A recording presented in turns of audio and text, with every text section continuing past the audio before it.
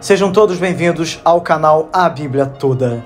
Hoje analisaremos o Salmo 135 e o Salmo 136. O Salmo 135 é um salmo de louvor a Deus que exalta seu poder soberano sobre a criação e sua fidelidade ao seu povo. Ele é um convite para o povo de Deus reconhecer as grandes obras de Yahvé e glorificá-lo por sua bondade e justiça. Louvai ao Senhor, louvai o nome do Senhor, louvai os servos do Senhor, vós que assistis na casa do Senhor, nos átrios da casa do nosso Deus. Aqui o salmista começa com um chamado ao louvor. Ele se dirige diretamente aos servos de Deus, aqueles que trabalham no templo, e chama-os a louvar o nome do Senhor. Historicamente, essa era uma responsabilidade dos levitas e sacerdotes que serviam continuamente no templo de Jerusalém. No entanto, esse chamado ao louvor se estende a todos nós. Hoje somos o templo do Espírito Santo, como diz o apóstolo Paulo, e estamos sempre na presença de Deus, prontos para louvá-lo. Louvai ao Senhor, porque o Senhor é bom. Cantai louvores ao seu nome, porque é agradável. O motivo do louvor é claro: o Senhor é bom. Sua bondade não é apenas um conceito abstrato, ela é experienciada por seu povo ao longo da história. O louvor ao nome de Deus é um prazer, não uma obrigação enfadonha. Quando entendemos sua bondade e graça, o nosso coração transborda de cânticos e o louvor se torna algo natural, como respirar porque o Senhor escolheu para si a Jacó e a Israel para seu próprio tesouro. Esse versículo relembra a escolha de Israel como povo especial de Deus. Em Deuteronômio 7, versículo 6, vemos que Israel foi escolhido para ser um povo santo. Historicamente, esta eleição foi um marco na identidade de Israel, mas também nos lembra que Deus nos escolheu em Cristo somos chamados seu tesouro especial, seu povo redimido. Porque eu conheço que o Senhor é grande e que o nosso Senhor está acima de todos os deuses. Tudo quanto o Senhor quis, ele o fez, nos céus e na terra, nos mares e em todos os abismos. Faz subir os vapores das extremidades da terra, faz os relâmpagos para a chuva, tira os ventos dos seus tesouros. Aqui o salmista celebra a grandeza e a soberania de Deus. Ele está acima de todos os deuses, ou seja, de todas as falsidades e poderes limitados que as pessoas possam imaginar. Deus não só criou os céus e a terra, mas governa sobre eles de maneira soberana. Cada relâmpago, cada chuva, cada vento é controlado por suas mãos. Em um mundo tão caótico, podemos encontrar consolo na ordem divina que ele estabelece. Foi ele quem feriu os primogênitos do Egito, desde os homens até os animais. Quem enviou sinais e prodígios no meio de ti, ó Egito, contra Faraó e contra todos os seus servos. O salmista relembra a libertação do Egito, um dos eventos mais significativos na história de Israel. As pragas do Egito não foram apenas demonstrações de poder, mas atos de justiça contra a opressão. Deus liberta o seu povo com mão forte. Para nós, a libertação do Egito simboliza nossa libertação do pecado através de Cristo, que nos resgatou do domínio das trevas. Quem feriu muitas nações e matou reis poderosos. Seom, rei dos amorreus, e Og, rei de Bazã, e todos os reinos de Canaã e deu a terra deles em herança, em herança a Israel, seu povo. Esses versos continuam o tema da vitória de Deus sobre os inimigos de Israel. Deus não apenas liberta, mas também providencia para o seu povo, dando-lhes uma terra. As vitórias sobre Seom e Og foram testemunhos do poder de Deus que abriu caminho para que Israel entrasse na terra prometida. Para nós, é um lembrete de que Deus luta por seu povo e nos dá uma herança em Cristo. A terra prometida espiritual, que é a vida eterna. O teu nome, Senhor, permanece perpetuamente e a tua memória, ó Senhor, de geração em geração. Pois o Senhor julgará o seu povo e se compadecerá dos seus servos. A fidelidade de Deus transcende o tempo. Seu nome permanece para sempre, e ele é lembrado por todas as gerações. Embora o juízo de Deus seja real, ele sempre demonstra compaixão para com os seus servos. Isso aponta para a natureza pactual de Deus, que, mesmo em meio ao juízo, oferece graça e misericórdia. Os ídolos das nações são prata e ouro, obra das mãos dos homens. Tem boca, mas não falam. Tem olhos, mas não veem. Tem ouvidos, mas não ouvem. Nem há fôlego algum nas suas bocas. Semelhantes a eles se tornam os que os fazem e todos os que neles confiam. Aqui vemos a futilidade da idolatria. Os ídolos, feitos pelas mãos humanas, são impotentes. Este contraste é claro. Enquanto Deus é soberano, vivo e todo-poderoso, os ídolos não têm vida nem poder. Pior, aqueles que adoram ídolos tornam-se como eles, vazios e sem vida espiritual.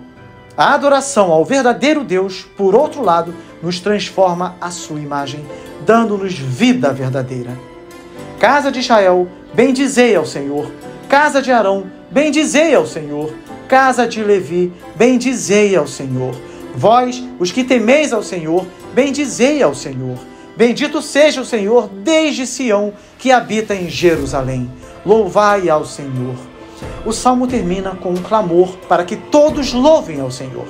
A casa de Israel, Arão e Levi são chamados especificamente, representando o povo e os líderes religiosos.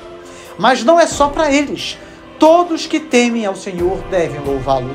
O louvor é uma resposta natural ao reconhecimento do grande poder, amor e fidelidade de Deus. Hoje, assim como Israel, somos chamados a louvar ao Senhor por sua bondade e suas obras poderosas. Cada parte de nossa vida pode ser transformada em um ato de louvor, porque assim como Deus libertou Israel, ele também nos libertou em Cristo. Ele nos chamou para sermos seu povo e suas obras continuam a ser evidentes em nossas vidas. Que possamos deixar de lado todo ídolo, tudo aquilo que compete com o lugar de Deus em nossos corações e adorar somente a Deus em espírito e em verdade, pois Ele é o único que merece o nosso louvor eterno. Amém, meus irmãos? Agora vamos analisar o Salmo 136. O Salmo 136 é um hino de louvor que destaca o caráter eterno do amor de Deus. Cada um de seus 26 versículos termina com a mesma poderosa afirmação: porque a sua misericórdia dura para sempre. A palavra misericórdia, do hebraico hesed, pode ser entendida como amor leal, como fidelidade, ou também graça amorosa. Este salmo celebra a fidelidade de Deus em suas ações no passado, tanto na criação quanto na história de Israel, e nos lembra de que seu amor nunca falha. Louvai ao Senhor, porque ele é bom, porque a sua misericórdia dura para sempre. O salmo começa com um convite ao louvor, fundamentado na bondade de Deus. A bondade de Deus é um tema recorrente nas Escrituras e aqui está diretamente conectada ao seu amor eterno. Essa bondade é visível em cada aspecto da criação e redenção. Não adoramos um Deus distante ou indiferente, mas um Deus que é bom e cheio de amor. Louvai ao Deus dos deuses, porque a sua misericórdia dura para sempre. Louvai ao Senhor dos senhores, porque a sua misericórdia dura para sempre.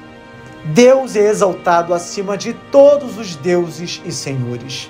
Esses termos não sugerem que outros deuses existam de fato, mas que qualquer poder ou autoridade que possa ser imaginado ou adorado está sujeito ao domínio do Deus verdadeiro. No contexto histórico, isso era um forte desafio à idolatria que cercava Israel, afirmando que o Senhor é soberano sobre tudo. Aquele que só faz maravilhas, porque a sua misericórdia dura para sempre. Aquele que fez os céus com entendimento, porque a sua misericórdia dura para sempre. Aquele que estendeu a terra sobre as águas, porque a sua misericórdia dura para sempre. Aquele que fez os grandes luminares, porque a sua misericórdia dura para sempre. O sol para governar de dia, porque a sua misericórdia dura para sempre. A lua e as estrelas para presidirem a noite, porque a sua misericórdia dura para sempre. Esses versículos louvam a Deus pela criação. Ele é o Criador dos céus e da terra, e cada aspecto da criação reflete a sua misericórdia eterna. O salmista destaca a ordem da criação: os céus, a terra, o sol, a lua e as estrelas, como testemunhos da sabedoria e bondade de Deus. Assim como Deus criou o universo com amor, ele continua sustentando todas as coisas em seu amor. Aquele que feriu o Egito nos seus primogênitos, porque a sua misericórdia dura para sempre, e tirou a Israel do meio deles, porque a sua misericórdia dura para sempre, com mão forte e braço estendido, porque a sua misericórdia dura para sempre. Aquele que dividiu o mar vermelho em duas partes, porque a sua misericórdia dura para sempre. E fez passar Israel pelo meio deles, porque a sua misericórdia dura para sempre. Mas derribou a Faraó com o seu exército no mar vermelho, porque a sua misericórdia dura para sempre. Agora o salmo se volta para a libertação de Israel do Egito. A Páscoa e o Êxodo são lembrados como demonstrações concretas do amor fiel de Deus. Ele feriu os egípcios e libertou seu povo com uma mão forte e poderosa. A travessia do Mar Vermelho é um dos eventos mais dramáticos da história bíblica, onde o poder de Deus foi manifestado de forma pública e gloriosa. Esse ato de salvação aponta para a maneira como Deus continua a libertar seu povo aquele que guiou o seu povo pelo deserto, porque a sua misericórdia dura para sempre, aquele que feriu grandes reis, porque a sua misericórdia dura para sempre, e matou reis famosos, porque a sua misericórdia dura para sempre. Seom, rei dos amorreus, porque a sua misericórdia dura para sempre. E Og, rei de Bazã, porque a sua misericórdia dura para sempre. E deu a terra deles em herança, porque a sua misericórdia dura para sempre. Em herança a Israel, seu servo, porque a sua misericórdia dura para sempre. Após o êxodo, o Senhor não apenas libertou o seu povo, mas também os guiou pelo deserto e lhes deu a terra prometida. A conquista de Canaã, com a derrota de reis poderosos como Seom e Og, é atribuída à misericórdia de Deus. É importante notar que, mesmo em atos de julgamento, o salmista vê a misericórdia de Deus em ação, pois estes foram meios pelos quais ele trouxe seu povo para o cumprimento das suas promessas que se lembrou de nós em nosso abatimento, porque a sua misericórdia dura para sempre, e nos libertou dos nossos inimigos, porque a sua misericórdia dura para sempre. Aqui vemos a misericórdia de Deus em relação às nossas fraquezas e aflições. Ele não é um Deus distante, mas alguém que se lembra de nós do nosso abatimento. Quantas vezes nos sentimos esquecidos ou ignorados, mas o salmista nos lembra que o Senhor nunca esquece seu povo. Ele nos liberta dos inimigos, sejam eles externos ou internos, físicos ou espirituais. Aleluia. Aquele que dá mantimento a toda a carne, porque a sua misericórdia dura para sempre. Este versículo fala do cuidado providencial de Deus. Ele é o sustentador de toda a criação. A provisão diária de alimento, tanto para os homens quanto para os animais, é uma demonstração contínua da sua misericórdia. Como Jesus nos ensinou, devemos orar pelo pão nosso de cada dia, reconhecendo que tudo o que temos vem de Deus. Louvai ao Deus dos céus, porque a sua misericórdia dura para sempre. O salmo conclui da mesma maneira que começou, com um chamado ao louvor o Deus dos céus, que governa soberanamente sobre todas as coisas, merece ser louvado. Ele é o Criador, o Redentor, o Provedor, e sua misericórdia nunca falha. O Salmo 136 nos ensina que a misericórdia de Deus não é um evento isolado, mas uma realidade que permeia todas as suas ações.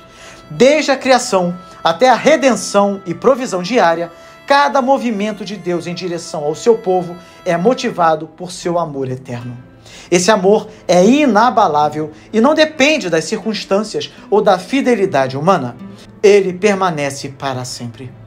Para nós hoje, este salmo é um convite a confiar em Deus, independentemente, meus irmãos, dos desafios que enfrentamos.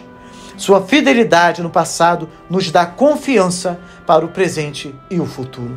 Que possamos então, como salmista, louvar ao Senhor por sua bondade e misericórdia, sabendo que em cada aspecto de nossa vida, seu amor fiel está em ação. Amém, meus irmãos? Como Deus é bom, não é verdade? Povo de Deus, nós iremos orar agora. Vocês podem fazer o pedido de oração de vocês nos comentários para que possamos orar durante toda a semana. Ore comigo.